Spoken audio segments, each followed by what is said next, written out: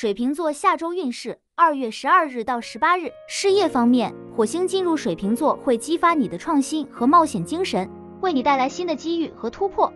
你会感到更有动力和决心去追求自己的目标，并展现出非常出色的领导潜力。财运方面，金星与海王星六分的相位，会给你的财务状况带来一些迷雾和不确定性，这需要你保持谨慎和审慎，避免陷入经济决策上的误判。爱情方面，火冥河会给你带来一些激烈而充满激情的情感体验，单身的水瓶座会遇到对你有强烈的吸引力的人，让你有发展深度情感的冲动。但你也需要小心处理这种能量，以免引发冲突。有伴的水瓶座可能会出现一些矛盾，要耐心化解。健康方面，水天行会导致你在思维上出现不稳定和紧张感，会影响到你的神经系统和睡眠质量，请注意保持良好的心理健康，可通过放松和锻炼来减轻压力。我是静电鱼，关注我，每天都有好运气。